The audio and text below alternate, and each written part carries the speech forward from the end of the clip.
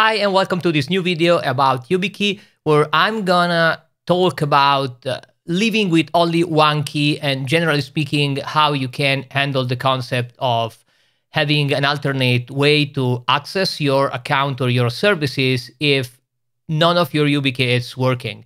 And it is a strange situation because usually the supported and the suggested scenario is you having more than one key, two, three, or four keys so whenever one key gets lost or it's broken, you can use another key for accessing your service.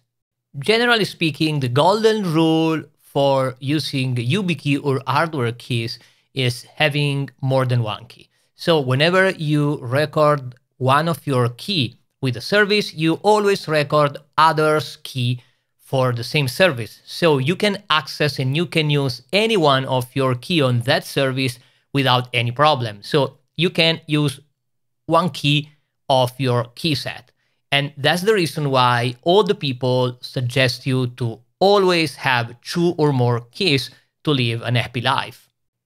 Nevertheless, some friends, some people ask me if they want to evaluate the key. So instead of immediately spending money for two or three keys, they want to know if I buy only one key, can I live with one key and which is the risks what happens if I'm gonna lose the key or that key got broken and how I can prevent problem if I'm using only one key. So the question is, it is possible to use one key and which are the disadvantages I'm gonna catch with only one key? Well, as usual, you need to understand which kind of functionality you are using from your YubiKey. As an example, if you're using YubiKey for TOTP, as a two-factor authentication uh, with the Authenticator, Yubico Authenticator app on your phone, there's absolutely no problem. If you have only one key, usually you take a picture of the QR code with another phone so you can get the key into another phone and maybe back it up in your Google account if you have an Android. Also, you can just right click the QR code that the service is, is, is showing you and save that QR code inside a secure archive like a KeePass archive protected by a super strong password and clearly do not protect the KeePass with the same YubiKey. In that situation, if your YubiKey get lost, you can use your second phone to uh, generate code for accessing the service. And if you uh, have another key, you can grab your QR code from your backup, from your KeePass archive, and load again inside the new key. And so in this situation, if you have only one key, if that key get lost, you can immediately be operative again using a second phone, using a phone, and there's no problem. When you get your new YubiKey, you can load again, code inside the YubiKey, and you're ready to go. So you can live with this scenario with only one key. A small different situation if you are using the other algorithm, that one used by KeePass XC as I showed you in a previous video, because in that situation, you indeed have a way to back up your seed code that you are loading inside your YubiKey. So if you lost the key, you have your backup code and you can load into a new key. But the problem is, until you get the new key, you are probably cut out from accessing your KeePass archive. And that is because KeePass XC is looking to the hardware key that is capable of generating the seed code. So even if you have your backup code, you probably need to find some emulator of YubiKey so your KeePass XC can uh, look at the software emulator and it can generate the code for you. Because if you have no such software emulator, you need to wait for your replacement key to arrive in your hand. Then you can reload your seed and you are able to access the KeePass XC again. But you know, that's a pretty much inconvenient situation. So if you are using your key to access your KeePass archive, I strongly suggest you to have at least two keys. Well, for SSH, the situation is simple. SSH key are generated inside your YubiKey if you use the SK option, the more secure option, and you cannot extract from the key. So if you have two keys, you need to generate two different SSH key, and you need to copy both public key to all the machine you want to access remotely with SSH. So if you have only one key, the simple situation is just generate another SSH key with a standard RSA algorithm. So you can use your YubiKey for fast and convenient access. If your YubiKey get lost, you can access SSH with the old standard plain RSA uh, key stored in a file. You can also use an elliptic curve uh, key based, uh, not um, not stored in, in, your key because you can use uh, any uh, elliptic curve SSH key stored inside your computer. But I usually suggest uh, RSA key in this scenario because if you have a remote machine that is updated, you will only use your key, your uh, SSH in your YubiKey, and you will use the RSA key only in the situation of an emergency. But you can also use your RSA key in older machine that does not support the new format. So it is better even not only for backup, but even for retrocompatibility to have a SSH key that is based on the old RSA algorithm for maximum compatibility.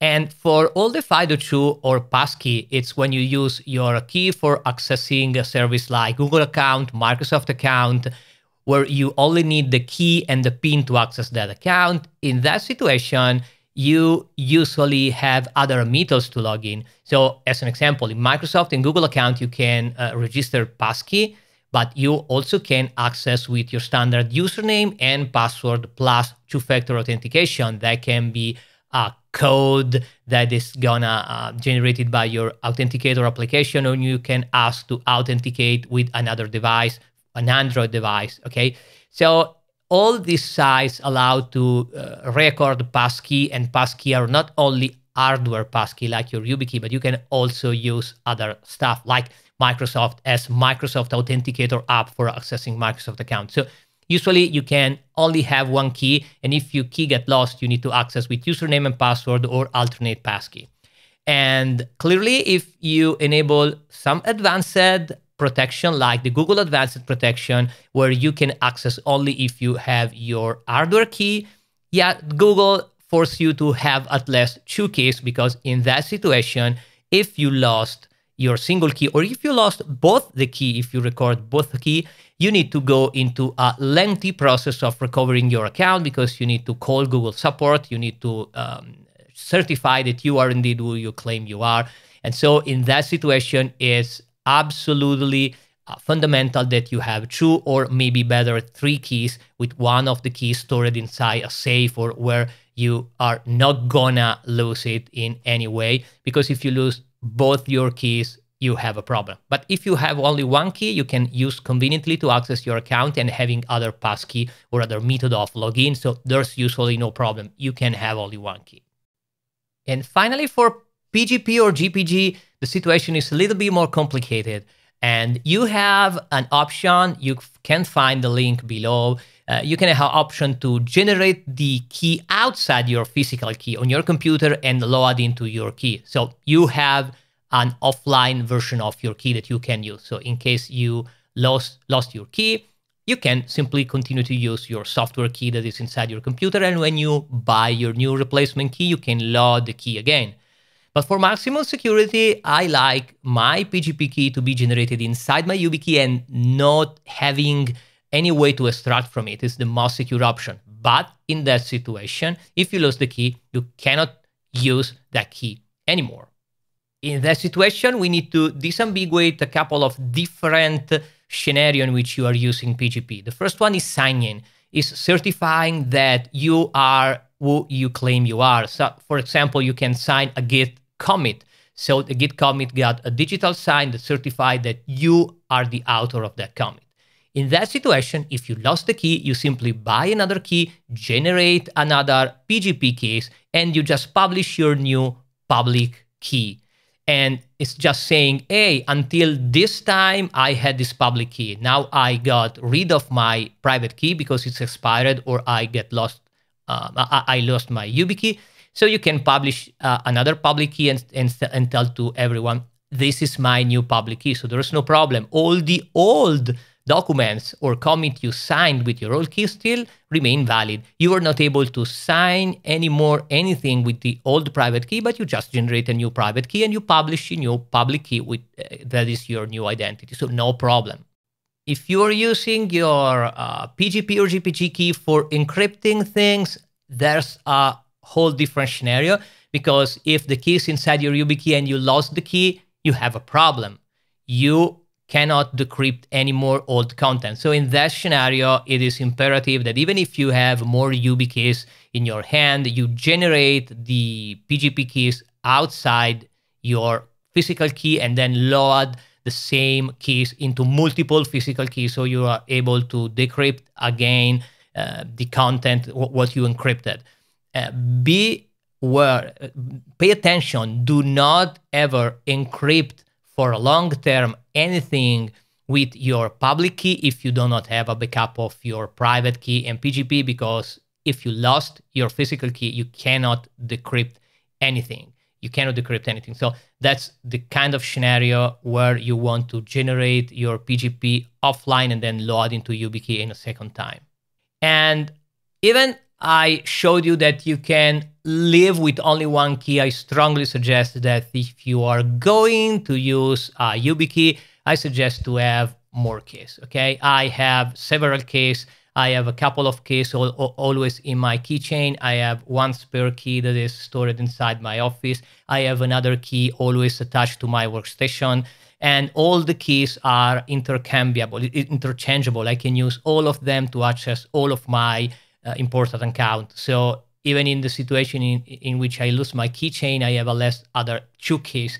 One is uh, on my fixed computer, and the other is a spare key that I can put on a new keychain again so I can have always with myself.